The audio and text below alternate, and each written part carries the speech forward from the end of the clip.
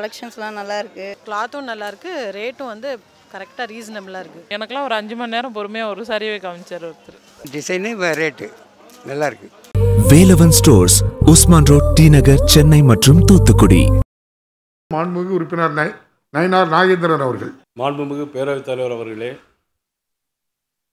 தமிழ்நாடு முதலமைச்சர் அவர்கள் கொண்டு இந்த தீர்மானத்தை பாரதிய ஜனதா கட்சியின் சார்பாக வழிவழி முழுவதோடு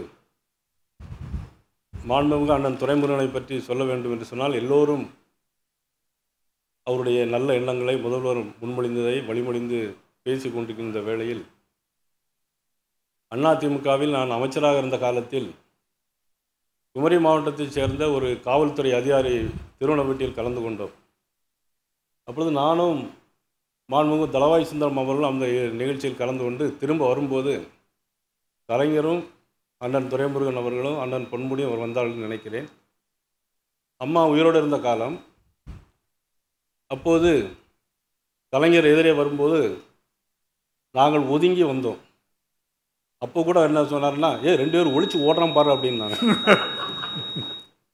மறந்துருக்கும் அநேகமாக ஒரு பதினஞ்சு பதினாறு வருஷம் ஆச்சு. ரெண்டு பேர் ஒழிச்சு ஓடுறாங்க பாருங்க அப்படின்னாங்க. அதை நாங்கள் அங்கேருந்து அப்படி கும்பிட்டுட்டு வந்தாலும் அப்படி நை அப்படி வந்துட்டோம். அவ்வளவு எதிர்கட்சியாக இருந்தாலும் உரிமையோடு பழகக்கூடிய ஒரு நல்ல பாங்கு அவருக்கு உண்டு. கிருஷ்ணகிரி தருமபுரி வேலூர் சிவகங்கை புதுக்கோட்டை ஆகிய மாவட்டத்தில் இன்சார்ஜாக இருந்தேன். எதிர்கட்சியாக இருக்கும்போது ரெண்டாயிரத்தி அஞ்சுலேருந்து பத்து வரைக்கும் உள்ள காலகட்டத்தில். அப்போ வேலூரில் அவருடைய கிராமத்துக்கே நான் போய் பொதுக்கூட்டங்கள்லாம் பேசியிருக்கிறேன். அப்பவும் வந்து பார்த்து பேசும்போது ஏன்னா ஊருக்கு போயிட்டு வந்தீங்களா? அப்படின்னு பார்த்து கேட்கக்கூடிய ஒரு நல்ல பண்பு படைத்த அண்ணன் துரைமுருகன் அவர்கள். அவர்களை பற்றி நிறைய எல்லோருக்குமே நமக்கு தெரிந்தாலும் கூட ஒரு மனிதனுக்கு சுவாசம் நின்று போகலாம். ஆனால் விசுவாசம் மட்டும் நின்று போகக்கூடாது.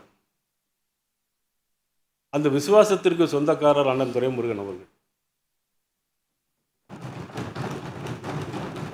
அவருடைய விசுவாசம் கலைஞரோடு நின்று விடவில்லை. அவருடைய வழித்தோன்றல் இன்றைய முதலமைச்சரோடு தொடர்ந்து அவர்கள் இரு சார்ந்திருக்க இயக்கத்திற்கும் இருக்கிறது என்று சொன்னால் இதை யாராக இருந்தாலும் பாராட்டித்தான் ஆக வேண்டும்.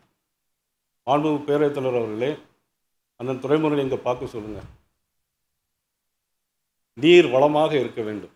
ஆரோக்கியம் என்று வளமோடு வாழ வேண்டும் என்று இறைவனை வேண்டி நன்றி கூறி அமைகிறேன். நன்றி வணக்கம்.